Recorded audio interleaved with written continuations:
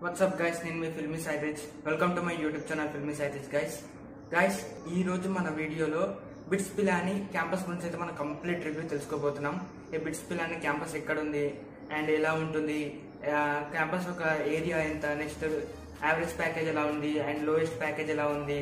And uh, మన కాలేజ్లో infrastructure ఎలా ఉంది ఫ్యాకల్టీ ఎలా ఉంది ఇలా ప్రతి ఒక్క డీటెయిల్స్ అయితే మనం ఈ కాలేజ్లో ఈ వీడియోలో తెలుసుకోబోతున్నాం. అండ్ ఇంకా ఏమాత్రం లేట్ చేయకుండా మనం అయితే ఈ వీడియో స్టార్ట్ చేద్దాం. గైస్ వీడియో స్టార్ట్ చేసే ముందు అయితే ఒక చిన్న రిక్వెస్ట్ తెలుగులో ఇలా కాలేజ్ రివ్యూస్ గురించి కానీ కెరియర్ గైడెన్స్ గురించి కానీ ఇలాంటి వీడియోస్ అయితే చేయడం నేనే ఫస్ట్ టైం మనం ఏ వీడియో చూసినా హిందీ వాళ్ళే వస్తుంటాయి. వాటి కోసం అయితే నేను తెలుగులో ఈ యూట్యూబ్ ఛానల్ స్టార్ట్ చేశాను. సో మీరు ఖచ్చితంగా సబ్స్క్రైబ్ చేసుకొని నన్ను ఎంకరేజ్ చేయండి.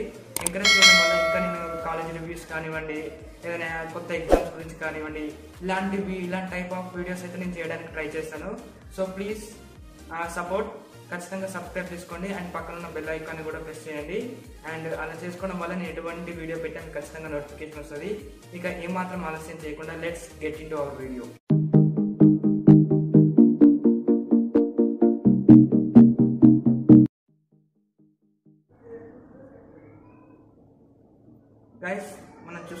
అయితే ఇదే బిట్స్ పిలానీ కాలేజ్. అండ్ ఈ బిట్స్ పిలానీ కాలేజ్ యొక్క ఎన్ఐఆర్ఎఫ్ ట్వంటీ ట్వంటీ వచ్చేసి మన twenty seventh rank. And nineteen sixty ఫోర్లో అనేది ఈ కాలేజ్ అనేది ఎక్స్టా ఎస్టాబ్లిష్ చేయడం జరిగింది. అండ్ దాదాపు త్రీ ట్వంటీ ఎయిట్ ఎకరాస్లో అయితే మనకి ఈ కాలేజ్ అనేది ఉండడం జరుగుతుంది. అండ్ ఒకసారి కనెక్టివిటీ చూద్దాం. అంటే మనకు ఈ కాలేజ్కి వెళ్ళడానికి రూట్ ఎలా ఉంటుంది? అంటే దాని గురించి ఒకసారి చూద్దాం. అండ్ ఈ పిల్లానికి రూట్ వచ్చేసి మనం ఢిల్లీ నుంచి కూడా వెళ్ళొచ్చు. ఢిల్లీ నుంచి వెళ్ళాలంటే ఇందిరాగాంధీ ఇంటర్నేషనల్ ఎయిర్పోర్ట్లో మనం దిగాలి. అక్కడి నుంచి వన్ ఎయిటీ ఫైవ్ కిలోమీటర్స్ అయితే కిలోమీటర్ దూరంలో మనకి బిట్స్ అనే కాలేజ్ ఉంటుంది. అండ్ అది కాకుండా లాహోర్ లాహోర్ రైల్వేస్ ఉంది. ట్వంటీ సిక్స్ కిలోమీటర్స్ అవే మన క్యాంపస్కి ట్వంటీ సిక్స్ కిలోమీటర్ దూరంలో అయితే మనకి లాహోర్ రైల్వే స్టేషన్ ఉంది. అండ్ ఢిల్లీ నుంచి మనం వెహికల్లో వెళ్ళాలంటే దాదాపు ఫోర్ టు ఫైవ్ అవర్స్ అయితే మనకు పడుతుంది. అండ్ ఒకసారి మనం ఈ కాలేజ్ యొక్క ఫీజు గురించి మాట్లాడుకుందాం. ఫీజెస్ ఏంటంటే మనకు దాదాపు per సెమిస్టర్కి institute fees hostel fees plus mess fees కలిపి లక్ష డెబ్బై వేల వరకు అవుతుంది అంటే దాదాపు మనకైతే ఫోర్ ఇయర్స్ బీటెక్ అవ్వడానికి సిక్స్టీన్ ల్యాక్స్ అయితే మనకు ఖర్చు అవుతుంది. కానీ మనకైతే స్కాలర్షిప్ అవైలబుల్గా ఉంది. మన ఒకవేళ లోవర్ ప్రయారిటీ ఉన్నా కానీ మన ఇన్కమ్ ఎయిట్ ల్యాక్స్ కన్నా తక్కువ ఉన్నా కానీ మనకైతే మనకు ఈ స్కాలర్షిప్ అనేది అవైలబుల్గా ఉంటుంది. ఒకసారి మోడ్ ఆఫ్ అడ్మిషన్ చూద్దాం. మోడ్ ఆఫ్ అడ్మిషన్ ఏంటంటే బిట్సాట్ ఎగ్జామినేషన్ ద్వారా అయితే మనకి ఇందులో ఎంపిక చేయడం జరుగుతుంది. అండ్ దాని తర్వాత మనకు వచ్చే ర్యాంక్ ప్రకారం మనకు బ్రాంచెస్ అనేది ఇవ్వడం జరుగుతుంది. ఒకవేళ మనకు మంచి మంచి ర్యాంక్ వస్తే మంచి సిఎస్సి బ్రాంచ్లో అయితే సెలెక్ట్ అవుతాం. ఒకవేళ మనకు నార్మల్ ర్యాంక్ వస్తే వేరే బ్రాంచెస్ అయితే మనం సెలెక్ట్ అవ్వచ్చు. అండ్ ఒకసారి కట్ ఆఫ్స్ గురించి అయితే మనం తర్వాత మాట్లాడుకుందాం. అండ్ స్పోర్ట్స్ ఫెసిలిటీ ఫెసిలిటీస్ గురించి మాట్లాడదాం. స్పోర్ట్స్ ఫెసిలిటీస్కి అయితే ఈ కాలేజ్ అనేది చాలా మంచి కాలేజ్ ఇందులో ఏంటంటే మనకు స్విమ్మింగ్ పూల్ ఉంది. అండ్ మనకు అవుట్డోర్ గేమ్స్ అంటే మనకు బాస్కెట్బాల్ కోర్ట్ ఉంది నెక్స్ట్ క్రికెట్ గ్రౌండ్ ఉంది ఫుట్బాల్ స్టేడియం ఉంది అండ్ బ్యాడ్మింటన్ కోర్ట్ ఉంది. ఇలా చాలా వేరియస్ టైప్ ఆఫ్ స్పోర్ట్స్ అనేది మనకు అవైలబుల్గా ఉంది.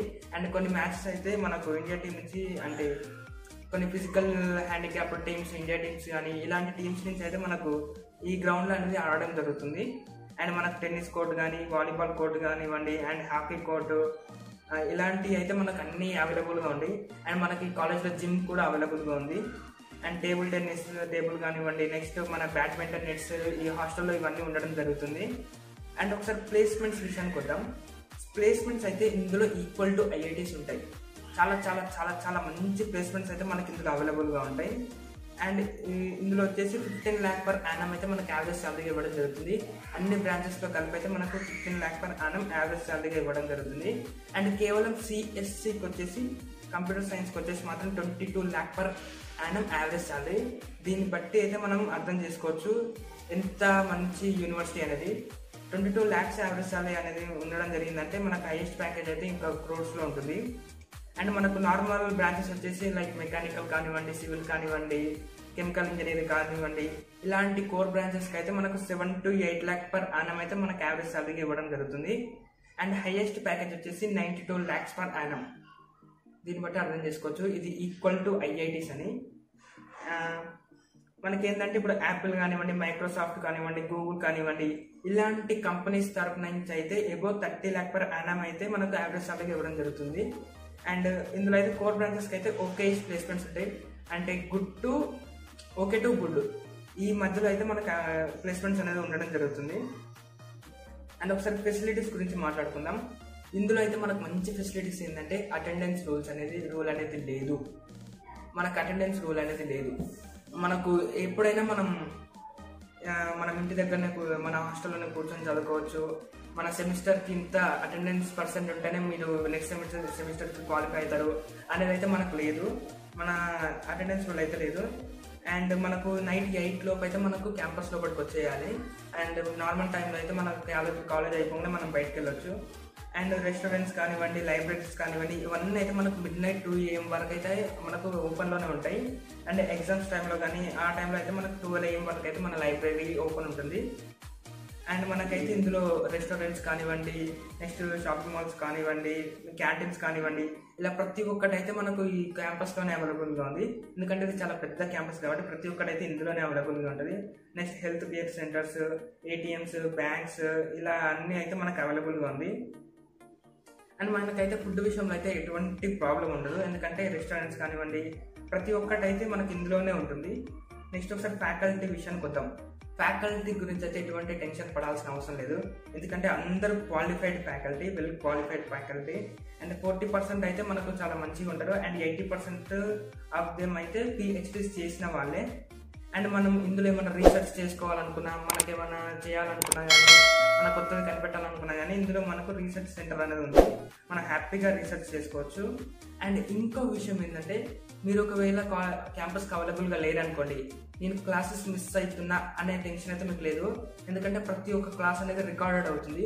రికార్డెడ్ అయ్యి మీకు ఖచ్చితంగా మీ గ్రూప్స్లలో సెండ్ చేయడం జరుగుతుంది. సో మీరు మంచిగా హాస్టల్లోనే కూర్చొని మనకు ఒకవేళ మిస్ అయితే మనకు కన్వీనియంట్గా ఉన్న టైంలో మనం మిస్ అయిన క్లాసెస్ అన్ని ఒకసారి రివైజ్ చేసుకోవచ్చు. ఇందులో అయితే మనకు ఎటువంటి ప్రాబ్లం అయితే లేదు. అండ్ ఒకసారి హాస్టల్స్ విషయానికి వద్దాం. హాస్టల్ విషయానికి వస్తే లెవెన్ బాయ్స్ హాస్టల్స్ ఉన్నాయి. అండ్ ఒక్కటి మాత్రమే గర్ల్స్ హాస్టల్ ఉంది.